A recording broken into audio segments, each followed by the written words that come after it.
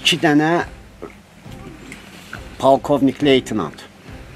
İki dənə leytenant hal-hazırda cəbhə bölgəsindədir. Nizami Mirzəmmədov, sonra Adi Mahmudov. Vidadi Mahmudov, bunlar polkovnik leytenantlarımızdır. Hərəsi bir bölgədədir. İki dənə leytenantımız var. Biri bu il qutarıbdı, biri keçən il qutarıbdı hərbi məktəbi.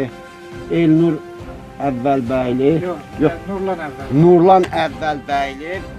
Bir də Elnurdur deyəsən. E, Zakirov. Elnur Zakirov. Bu gün bunlar da Cəfə bölgəsindədirlər. Onlar da bu Hikmət babanın əsgərləridir. Hikmət babanın. Bəli, məhz Hikmət babanın əsgərləridir. Onlar bu kəndimizin fəxridir. Biz onlarla fəxr edirik. Bugünkü gündə 3 dənə bizim kəndimizdən orada könüllü döyüşçümüz var. Nə bilim, əsgərdə olan başqa yoldaşlar da var ki, onlar da uşaqları hal-hazırda Cəfə bölgəsindədir.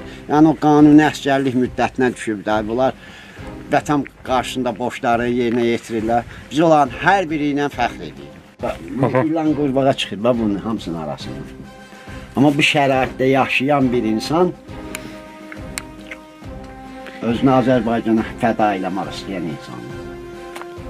Deməli buranı özü tikib eləmir. Özü tikib, 9 il müddətinə tikib buranı. Hı hı. Divarları adi çay daşındandır. Adi çay daşı. Yəni indi məişət şəraitini özünüz görürsünüz ki, burada mümkün deyil də. Sadəcə olaraq yaşamaq mümkün deyil. Amma o yenə baxmayar, heç nəyə baxmır. İşıq yox, qaz yox, su yox. Amma bu ilə bahəm deyək ki, onlar düzələn işdir. O vətən. Vətən, vətən. Ən birinci vətənimiz. Bəli. Bunları özü eləyib bu daşları eləmir. Hamısını özü tikib. Necə sındırıb, qırıb, necə edib? Sındır bax, çəkişlə qırırsan, çəkişlə. 50 dənə, 60 dənə, 70 dənə, həm 40 dənə olur, gətirir də imkanı daxilində. Bir maşına 5-10 manat pul verib gətirib çıxardır bura.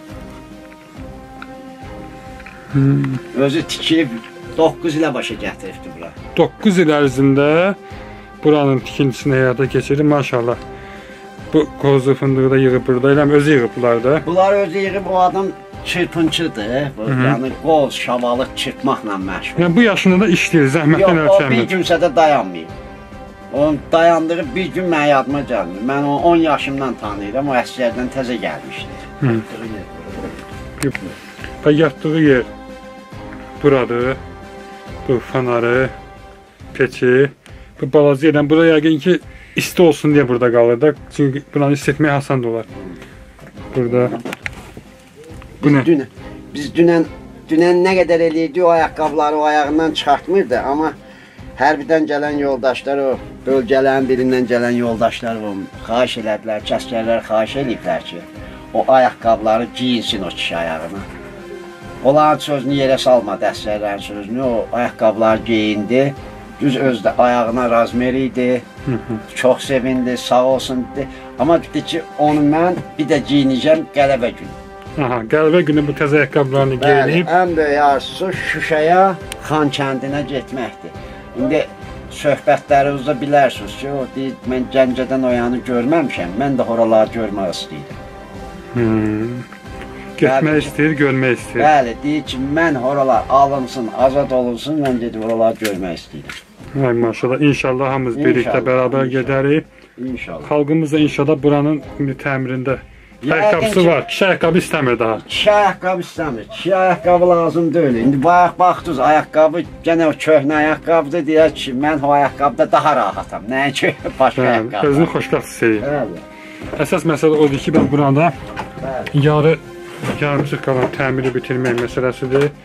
İnşallah bizim gözəl xalqımız bu işdə öz yardımını əsirgəməz. Videoda əlaqə nömrəsi, əlaqə vasitələri qeyd olunub. Baxın.